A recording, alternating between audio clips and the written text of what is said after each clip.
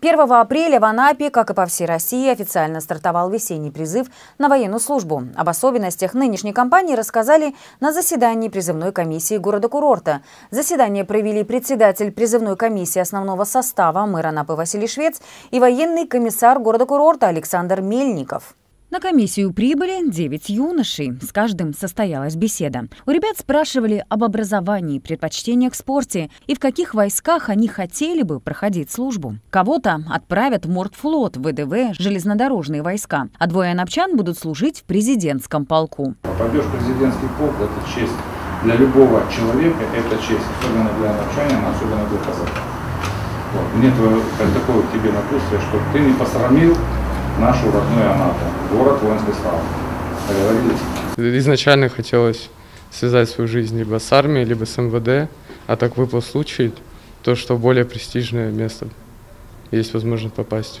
Василий Швец пожелал призывникам набраться в армии жизненного опыта, служить порядочно и ответственно. Как вернешься, потом еще обязательно увидимся. Если ты тем более хочешь поступить в высшее, в высшее учебное заведение, обязательно потом э, не потеряйся, чтобы мы с тобой друг друга нашли, я тебе помогу.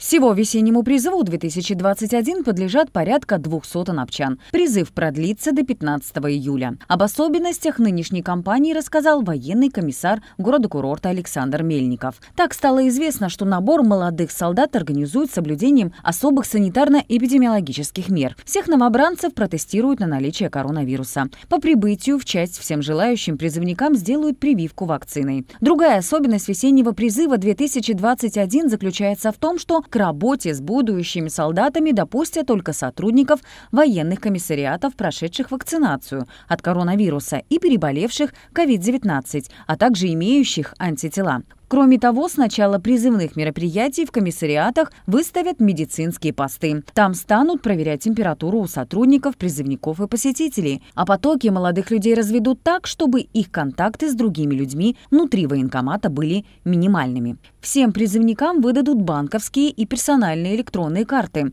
Для встречи и перевозки молодого поколения в воинских частях выделят свой автотранспорт, а уже на территории полков и дивизий призывников разместят в отдельных помещениях. Такой своеобразный карантин продлится 14 суток. Олеся Давыдова, Иван Рыбальченко, 39 канал.